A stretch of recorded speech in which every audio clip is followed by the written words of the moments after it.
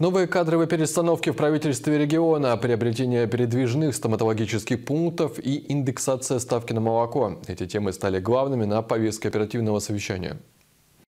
Мария Гаврилова вошла в состав регионального правительства. Решение о включении министра градостроительства и благоустройства Мурманской области в органы исполнительной власти принял глава региона Андрей Чибис.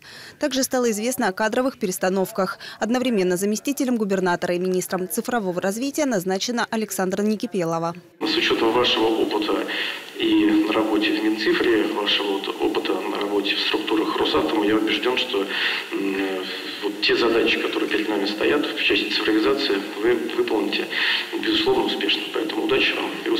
На приобретение социально важного для региона транспорта правительство Мурманской области выделит 55 миллионов рублей. Так планируется закупить два стоматологических передвижных комплекса. Они будут обслуживать удаленные населенные пункты Печенского округа и Кандалакшского района. Также закупят автобусы для доноров. Мы запустили поезда здоровья, очень современные. Видим большую востребованность и отдельный акцент, конечно, нужно сделать на стоматологии.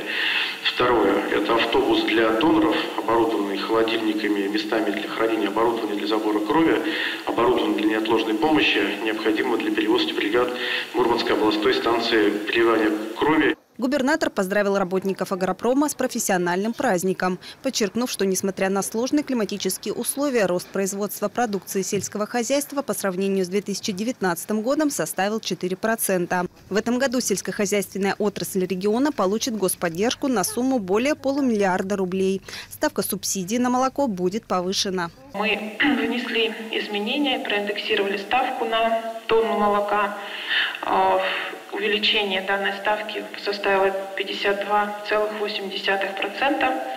Это до 10,6 тысяч рублей на тонну молока. В правительстве Мурманской области продолжается формирование бюджета региона на 2022 год. По словам Андрея Чибис, региональный бюджет этого года исполняется с профицитом. Поэтому Министерству финансов Мурманской области дано поручение подготовить предложение для его корректировки.